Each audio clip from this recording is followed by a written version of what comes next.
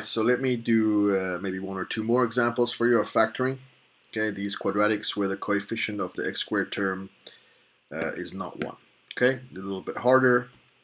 So let's try and factor these together again. I'm going to use the method I think most students use, and so I'll show you that most students who find factoring challenging, at least. Okay, and so again, we look for a common factor. I don't see any common factor between those three numbers since two of them are prime and one is not. So we know that this is going to factor into a product of binomials. At least at the moment, all of our function, uh, all of our quadratic trinomials uh, factor. All right, so uh, that's what I'm looking for. So I'm looking at 6x squared minus 11x minus 2. Uh, circle the term in front of the x squared, multiply it to the constant in the back, and generate your new easier trinomial to factor, so minus 12. Okay, but bring the 6 down here. We threw it away. We can't get rid of it. We have to do something with it. And so now we factor the easier trinomial, and we get uh, factors of 12 that add to 11. Okay, somehow add to 11. So 12 times 1, negative 12 plus 1. So negative 12 times 1 is negative 12 negative 12 plus 1 gives me negative 11. And so those are the two numbers I want to use. Okay, minus 12 plus 1. And then we threw away the 6 earlier, so I need to bring it back somehow. Bring the 6 back. And try and reduce what I have here. So x minus 12 over 6 is 2. That works. And then this fraction can't reduce. The 6 just gets brought to the front here. 6x plus 1. All right.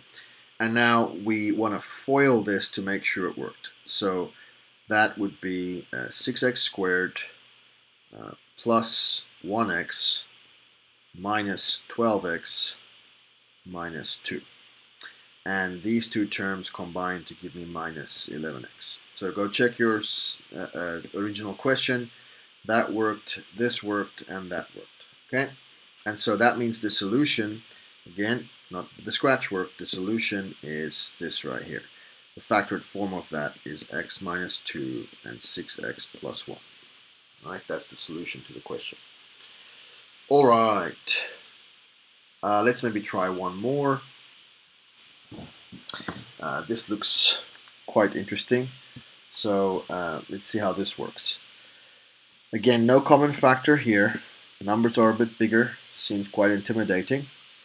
Uh, so this needs to factor into a product of binomials. Uh, again, bring down the question here. Minus 14. Circle this front number, multiply by the back. So I get c squared minus 33c minus 14 times 5. What does that give me? 70. Okay. And now I need to factor this into two binomials. Don't forget the 5, bring it down. We have to do something with that. Okay? And so factors of 70 that give me uh, negative 33. So it seems like 35, negative 35 plus 2 might give me negative 33. That looks right. And negative 35 times 2 gives me 70. So that looks right. So C minus 35, C plus 2. Then this 5 right here, uh, divide by 5, divide by 5. Okay, we have to use it, we dropped it, we have to bring it back.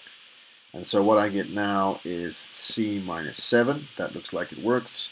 Uh, this can't reduce or anything happen there, so 5C plus 2. And there we go. And now you have to FOIL this. Now, you should be able to FOIL in your head at some point. Okay, so I'm going to FOIL mentally and not write everything down. So that's 5C squared plus 2c minus 35c minus 14. That's definitely correct. So c minus 7, 5c plus 2, that's the answer. Okay. I hope you can do it this fast and factoring is not a huge issue for you. Alright guys, I hope this helped.